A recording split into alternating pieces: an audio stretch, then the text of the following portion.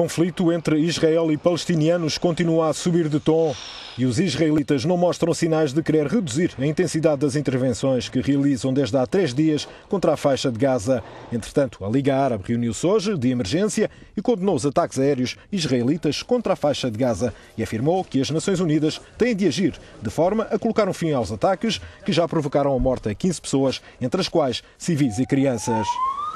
A violência teve início quinta-feira, quando um grupo de homens, segundo Israel, oriundos da faixa de Gaza, entrou em território israelita e, numa estrada perto da estância balnear de Eilat, matou oito israelitas.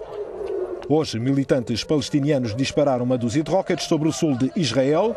Os tiros efetuados a partir do território palestiniano atingiram uma escola vazia em Beersheba, assim como a cidade costeira de Aklon, sem contudo provocar vítimas. Segundo Israel, mais de 100 rockets já foram disparados a partir do enclave controlado pelo Hamas.